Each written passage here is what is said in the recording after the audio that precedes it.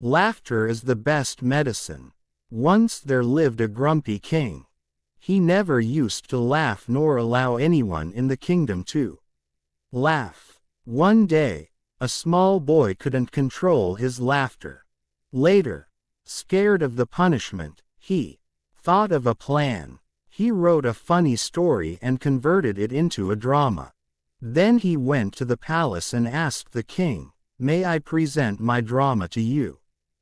The king let him do it. Then the boy started the play. In the end, he came to the funniest part of the story which made the king laugh. All people present in the court were amazed.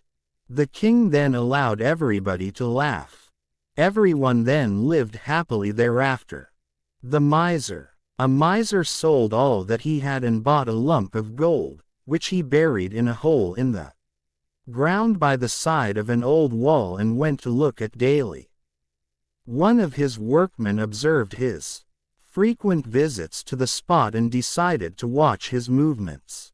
He soon discovered the secret of the hidden treasure, and digging down, came to the lump of gold, and stole it. The miser, on his next visit, found the hole empty and began to tear his hair and to make loud lamentations. A neighbor, seeing him overcome with grief and learning the cause, said, Pray do not grieve so, but go and take a stone, and place it in the hole, and fancy that the gold is still lying there. It will do you quite the same service, for when the gold was there, you had it not, as you did not make the slightest use of it.